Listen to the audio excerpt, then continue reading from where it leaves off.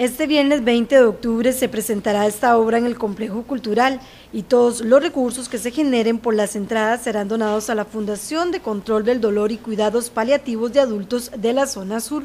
El próximo viernes a las 7 de la noche, como bien lo dices, vamos a tener una presentación musical del libro de la selva, presentada por Casa Espiral y por Proyecto Cuerpo y Alma. Ellos muy amablemente, ¿verdad?, nos donaron pues la taquilla total del, evento, entonces estamos promocionando la actividad. Eh, la entrada tiene un costo de 3 mil colones en preventa y para el día del evento van a costar 3 mil 500 colones.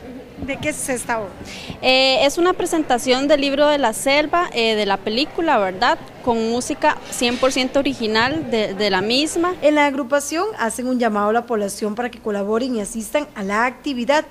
En la organización les brindan apoyo en terapia psicológica, visita domiciliar, préstamo de equipo ortopédico, así como también donación de pañales, de suplementos alimenticios, comestibles a las familias y otras que son referidas desde la Clínica del Dolor del Hospital Escalante Pradilla en Pérez Celedón. Queremos invitarlos, ¿verdad?, a que colaboren con la fundación.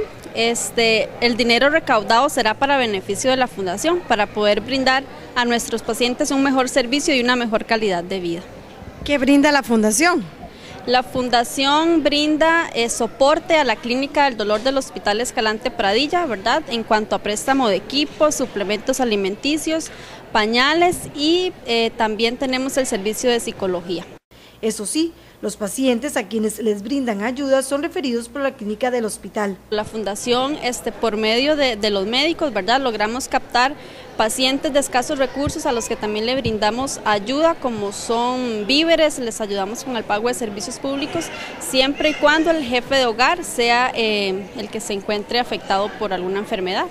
es una serie de apoyos. Sí, son, son varios tipos de apoyos que nosotros les brindamos, ¿verdad? Para que ellos puedan sobrellevar la enfermedad y para que su familia pues también tenga un poco de apoyo en cuanto a la parte económica y la parte alimenticia, que también es importante para ellos. Siempre y cuando vengan referidos del mismo hospital. Correcto, van referidos con los, con los médicos de la clínica del dolor, que son los que, los que captan a este tipo de pacientes.